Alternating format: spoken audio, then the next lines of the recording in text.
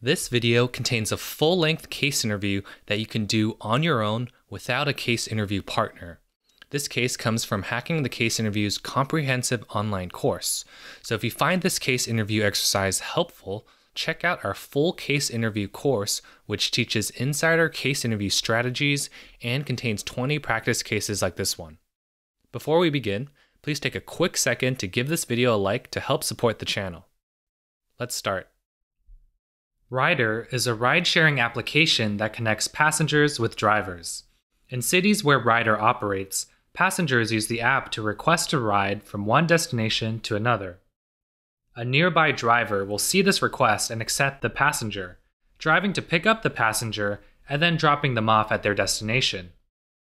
Payments are all done before the passenger is picked up via credit card on the app. Ryder is currently only in the US but is considering expanding internationally. They want to know which international city they should enter first and how they should go about entering.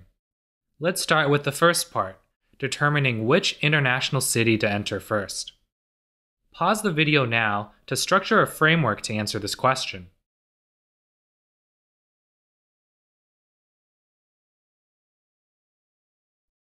Here is a transcript for your reference. Here is how one potential framework could look like. We want to look into four major areas. 1. We want to look at the ride sharing market attractiveness per city. Which cities are most attractive to enter based on metrics such as smartphone adoption, credit card adoption, and population density? 2. We want to look at the competitive landscape in each city. Which cities are least competitive to enter? We'd want to know if there are any other ride sharing app competitors and whether there are strong alternatives to ride sharing, such as public transportation. 3. We want to look at our capability to execute in each city.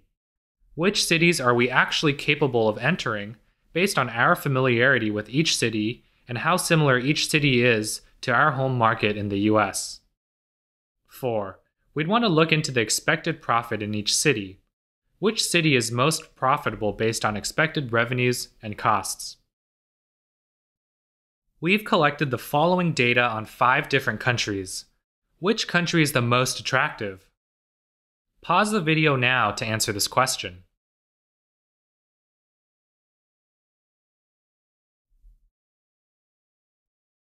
There is a lot of data provided to us in the previous table. The key here is to prioritize which metrics are most important in determining whether a city is attractive or not. You may have a slightly different order of important metrics, but you should recognize that smartphone adoption and credit card adoption are highly important because our business is based off of customers using an app on smartphones. Population density is important because it makes coordinating rides more feasible and practical. Finally, gross net income per capita is important because it reflects whether customers have the money to pay for this ride sharing service. Based on these metrics, we see that Paris and Tokyo perform highly on all of these, making them the most attractive cities. Assuming that we decide to enter Paris, how do you think about calculating expected annual revenue? Pause the video now to answer this question.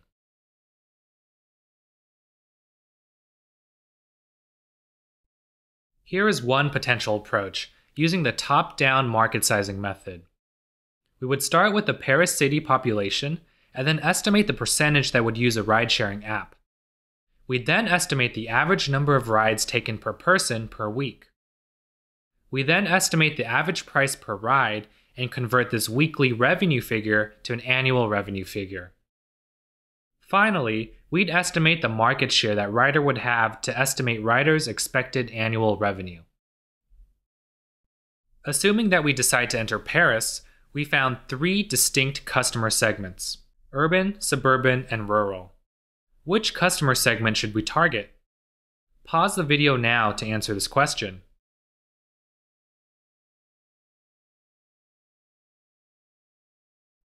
We can calculate revenue for each customer segment by multiplying the population with the percentage that use ride sharing, then with the average rides per week, then with the average price per ride, and then with the average market share. Doing this gives us $6 million in weekly revenue for the urban segment, $9.9 million in weekly revenue for the suburban segment, and $3.6 million in weekly revenue for the rural segment. Thus, we should target the suburban segment since they give us the highest revenue. What are the major cost elements of starting and operating a ride sharing app business in a new city? Pause the video now to answer this question.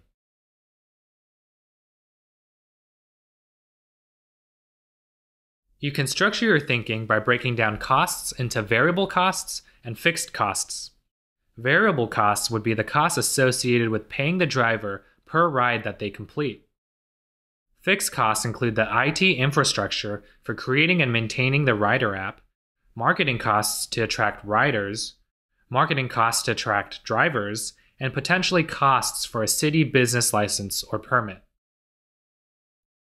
Assume we are targeting the suburban segment, which has an annual revenue of $500 million. Variable cost of paying the driver is 40% of revenue. Fixed costs for five years of operation would be $600 million, which cannot be recouped. Additionally, the Paris city government could potentially begin regulating the ride sharing market, setting rules and regulations that companies must abide by we believe there is a 30% chance in the next five years that the government will ban all foreign ride sharing companies. Does entering the Paris market still make sense? Pause the video now to answer this question.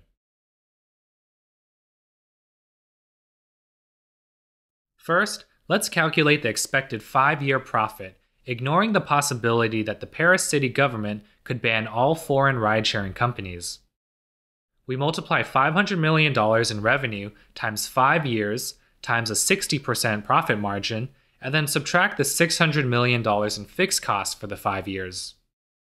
This gives us a five year profit of $900 million. This problem is basically asking us to calculate an expected value. There is a 70% chance that the government will not ban our company, and we'd earn $900 million in profit. However, there is a 30% chance that the government will ban our company, and we would lose $600 million from our fixed costs since we have no revenue. Therefore, the expected value of this is 30% times negative $600 million plus 70% times $900 million. This gives us $450 million in profit. Because we still expect to earn $450 million in profits on average, entering Paris would be a hypothetically positive investment. However, deciding whether to enter Paris should be based on Ryder's risk tolerance, since there is a 30% chance that they would lose $600 million. This is a big risk. What are the major challenges of entering a new country? Pause the video now to answer this question. We can think about major challenges of entering a new country as internal challenges and external challenges. Internal challenges include having expertise within the country, having the capital investment required, having to hire new employees, and having to build awareness for your brand. External challenges include dealing with foreign competition and dealing with foreign regulations or policies. What is your ultimate recommendation? Pause the video now to deliver a recommendation.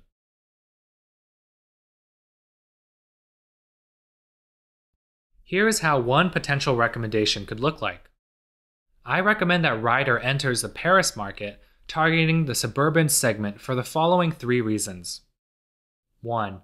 Paris is the most attractive city among the five cities we analyzed.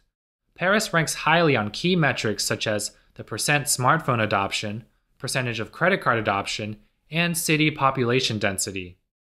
2. The suburban segment within Paris is the most attractive, with the highest expected annual revenue of $500 million. 3. Despite the possibility that the government could ban foreign ride sharing companies, the expected value of entering Paris is still positive. The expected value is earning $450 million in profit over the next five years. For next steps, I'd like to look into two areas. 1. Look into the profitability of other cities to see if there is another city with favorable government regulations and less risk than Paris. 2. Consider how compatible different cities are with Ryder's company capabilities.